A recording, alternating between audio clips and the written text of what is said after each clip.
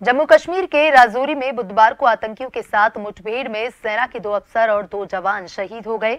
इनमें आगरा के DGC crime Basant Kumar Gupta के बेटे कैप्टन शिवम गुप्ता भी शहीद हुए हैं। इसकी सूचना घर पहुँचते ही कोहराम मच गया। शहीद की सूचना मिलते ही बीजेपी के नेता और प्रशासनिक अधिकारी शहीद के घर पहुँच गए। कैप्टन शिवम गुप्ता का चयन दो पंद्रह में आर्मी में हुआ था। कैप्टन शुभम गुप्ता को 2018 में प्रमोशन मिला था।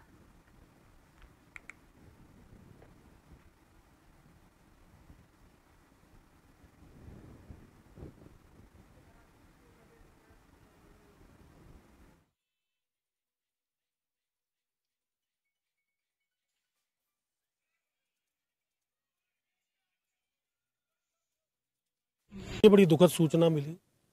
टीवी पे भी चल रहा था कि राजौरी में इस तरह से आतंकवादियों से कोई मुठभेड़ चल रही है। तो अचानक जानकारी मिलती है कि हमारे साथी मित्र बसंत गुप्ता एडवोकेट जो डीजीसी भी हैं, उनका बेटा शुभम भी उसमें शहीद हो गया। दुखद है, अभी कुछ दिन पहले ही वो एक अफसर बन के आर्मी में गए थे। लेकिन उसका संकल्प था देश के लिए काम करना, देश के लिए काम करना, भारत माता के लिए काम करना। और दुर्भाग्यपूर्ण भी है और दूसरे शब्दों में कहें तो गर्व का एहसास भी होता है कि हमारे एक मित्र के बेटे ने अपने प्राणों को नौछावर किया देश के लिए।